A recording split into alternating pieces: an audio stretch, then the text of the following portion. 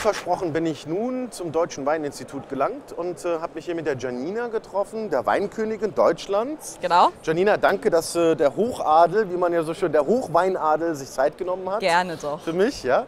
Ähm, Du bist, ähm, seit wann bist du jetzt die deutsche Weinkönigin? Seit September. Immer im September ist die Wahl, genau, passend zur Lesezeit. Also ich habe jetzt Halbzeit ungefähr. Genau. Mit dem Und Rohwein. dann warst du Weinkönigin in welches Land äh, vorher gewesen? In der Pfalz. Ich komme aus der Pfalz, aus ja? Bad Dürkheim, genau. Aus Bad Dürkheim, okay. Ja. Ähm, jetzt, ähm, wie ist das, um Weinkönigin zu werden? Ist das dann, ähm, wenn wir das jetzt in der Weinfachsprache sagen würden, ist das dann eine Selektion äh, aller anderen Weinköniginnen im Prinzip? Ja, das ist so ein bisschen die Aufgabe der Jury, da ein bisschen zu selektieren, das stimmt. Aber es ist, es ist natürlich ein Wettbewerb, aber es läuft doch alles auf freundschaftlicher Ebene ab.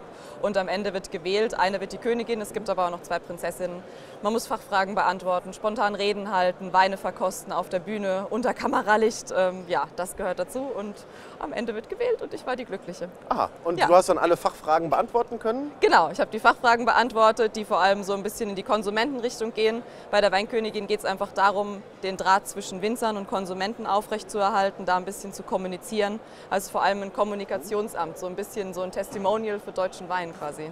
Also du bist ja nicht die erste Weinkönigin, die vor meiner Kamera steht. Ja. Und noch keine Weinkönigin hat es geschafft, meine Frage richtig beantworten zu können. Oh, Darf ich die dir stellen? kriege ich jetzt schon Angst. Ja? Kannst du mir den Unterschied zwischen einem Chateaubriand und einem Chateau Lafite erklären? Einem Chateau, Chateaubriand, Chateau Lafite. Das sind natürlich Namen, die man kennt, aber ehrlich gesagt ist natürlich der deutsche Wein mein Hauptfokus und nicht der französische.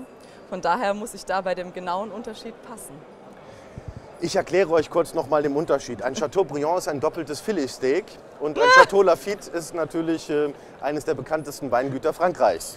Ja, das, das war ja auch klar. Aber die beiden zusammen, warum nicht?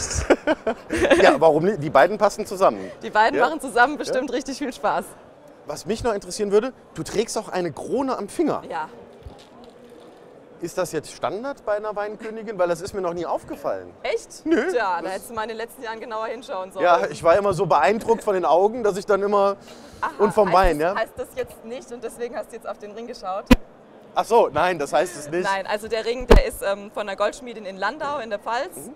Und die hat damals als Katja Schweder deutsche Weinkönigin, wurde Mhm. sich so gefreut, dass ein Mädel aus ihrer Region das wird, dass sie diesen Ring kreiert hat. Und seitdem kriegt die deutsche Weinkönigin den gesponsert. Den darf man auch behalten. Jedes Jahr einen neuen. Genau, und der ist immer individuell gestaltet und mein Ring ist ein Riesling-Ring. Da sind Riesling-Farben in unterschiedlichen Facetten drauf Mhm. und noch zwei freche Spätburgunder haben sich eingemischt.